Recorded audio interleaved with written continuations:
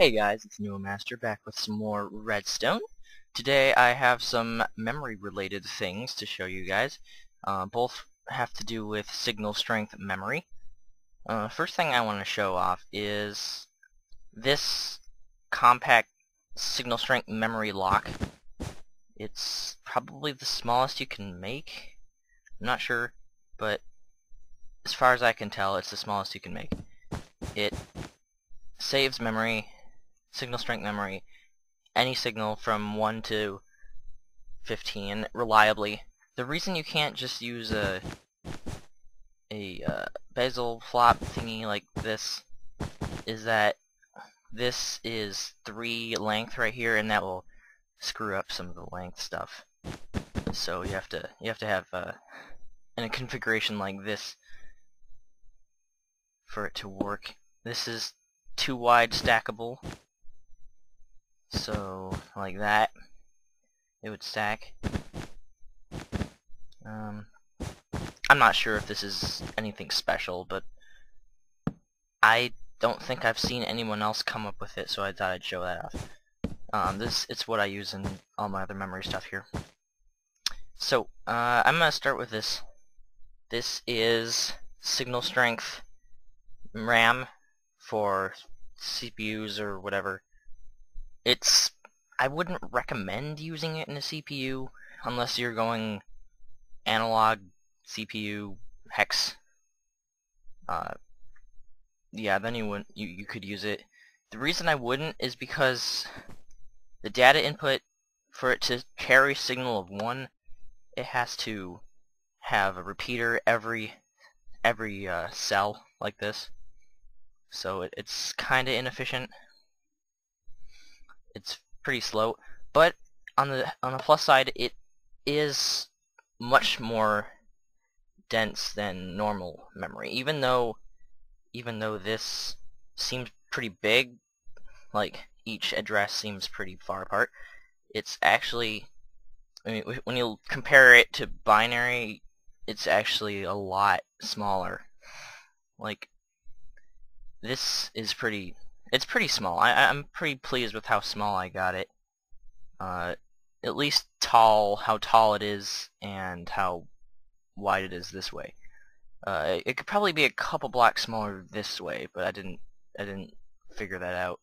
I might try it next time. But anyways, let's show it in action. Let's save some stuff to it. Uh, let's do one, two, three, four. So save, turn these off.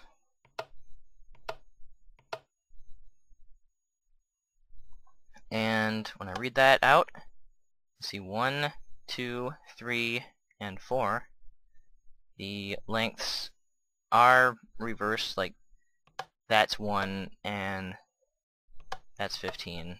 Uh, it's pretty intuitive, but just to make sure that it's not confusing anyone. Uh, now let's just save to another address just to show that it's actually stackable. Save to this address. And now we can read from these two. Read from that one. That's what you get. And then read from the first one. You get what we put in first. So, it's it's pretty nice. Uh, I think it's probably as fast as you can get. I'm not sure about that, but close to the as fast as you can get. You might be able to shave off a couple ticks, but not much, just because how of how it works.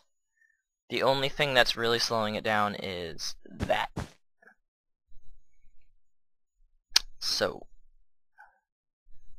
next thing is this is like a uh, little capacitor kind of thing that I I just found when I was messing around with this stuff. Uh, it just it goes up when you hit that lever and saves it and goes down when you hit that lever. Um, thing that's useful about this is that you can you can create a counter just by pulsing these.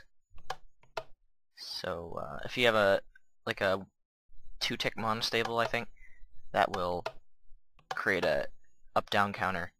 But you can also tell it to count up and down however many you want. And no, never mind, it won't work for a shifter. But it's pretty cool. Um, this is I, I I'm not going to explain how that works since it's a bit too complicated, but I will explain how this works since it's pretty simple. So you have the memory gate, memory latch that I showed off over here. That's right here. And then you have, for subtracting, you have a hopper with one and a little thing that enables it when you turn this off. So that's when that's off, that's enabled. And then that subtracts one from this loop. And since it's in a loop, it will subtract one and then subtract one again over and over and over again every two ticks.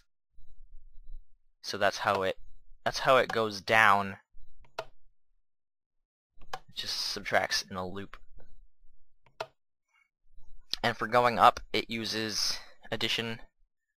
It takes this signal right here, subtracts it from 15, subtracts 1 by moving, see how this is, there's two signals here? That's how it subtracts 1, or, uh, yeah, subtracts 1, and then subtracts that from 15 again when this is on. That's how it adds. Um, you should be pretty familiar with the double subtract addition thing because I've been using it quite a lot. So it's a nifty little device. It, it could be useful in like mini games or counting for more advanced redstone logic things depending on what you use it for. Yeah, I, I can think of a lot of uses for this. It's pretty cool. So, that's pretty much it, really. Um, I don't think I have anything else to say. Uh, next Redstone video will probably be in couple days since I'm planning something big for it. And uh, I need a couple days to build that. But uh, anyways, thanks for watching, and I'll see you guys next time.